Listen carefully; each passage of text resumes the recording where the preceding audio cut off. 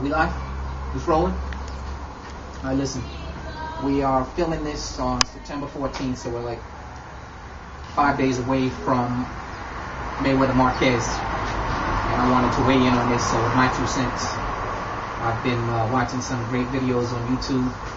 You know, part of that boxing community. I've been watching my man Karceno, my man Blood, my man Talk Boxing, uh, Max Boxing, you know, and a couple other sites. So I just wanted to weigh in with my two cents on it because one of the things that I'm not really hearing anybody say, and this is how I feel, so this is my contribution to the community. You know, when Mayweather announced that he was returning to boxing, a part of me was really disappointed to hear that because the man had an undefeated record. He said he'd accomplished everything he wanted to accomplish in the sport. He said he didn't need any more money. That was no longer motivation for him. He wanted to go on to do other things in the entertainment industry with his Philthy Rich records and everything. And I was really happy to, to see that and to hear that because we don't, we don't have a champion like that today. We don't have a champion like that. The champions that we have are the guys that don't know when to quit, keep coming back for just one more fight, one more fight, until they end up getting their butts handed to them and go out, you know, in a very in a very sad way. So I would love to see somebody, you know, go out while they're still at the top of the game. And um, you know, I was hoping that Mayweather would be that person. Years ago, I had the pleasure of interviewing uh, Roy Jones when he was still at the top of the light heavyweight division. And one of the things that we spoke about is him making the transition from boxing to the rap game that he was pursuing and being the CEO of his own record label. And I wrote in the article that I hoped he would find fulfillment in the music so he wouldn't have to come back and, and just replay this, this this same old drama that we see all these boxers and champions uh, replay. I was there at Madison Square Garden the night when Sugar Ray Leonard had his got his ass handed to him by Terry Norris, and uh, you know it didn't have to be like that. You know what I mean? It didn't have to be, but the guy didn't know when to stop. And even with Terry Norris, that still wasn't his last fight. He still came out again after that against Camacho and just got steamrolled. So I mean, I would love to see one of our champions go out on the top. That's all I'm saying. The fight is five days away. Um, my prediction is uh, Mayweather. And what I did just to kind of brush up over the last uh, week or so, I watched um, Mayweather against Castillo, fights one and two, and I watched um, Pacquiao against Marquez one and two.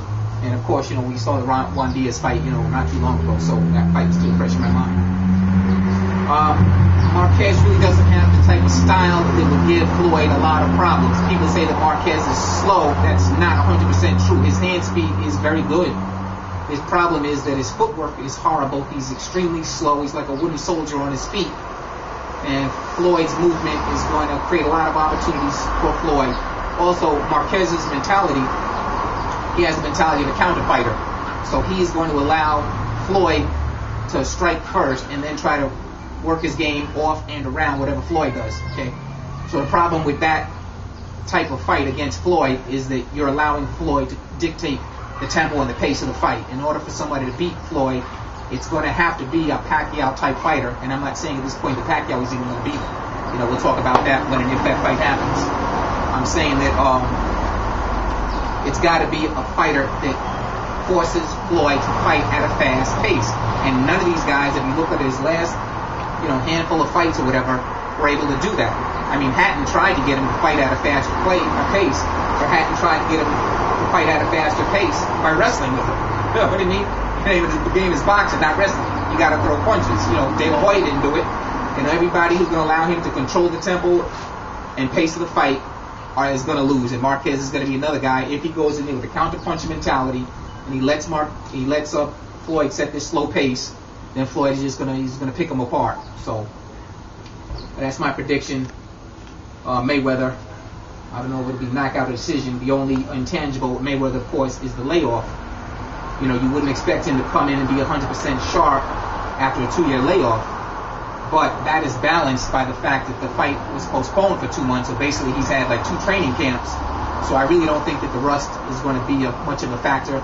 And for a man coming back into the game at the age 32, I'm not even looking for him at, at, with this with this long. He's young enough, resilient enough to come back, and also with the extra extended training camp, that's only going to help him also. So the only other intangible that could possibly hurt him is I heard, and one of you guys can correct me on this and, and put that correct information out. I heard they were fighting at a catchweight.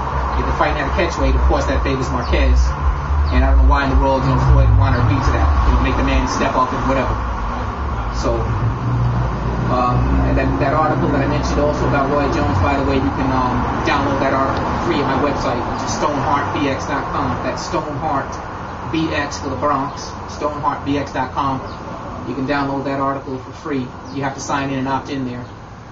And uh, if you're a fight fan, I'm sure you'll enjoy that because the Roy, Roy Jones's company says that was the best article that was ever written on Roy Jones.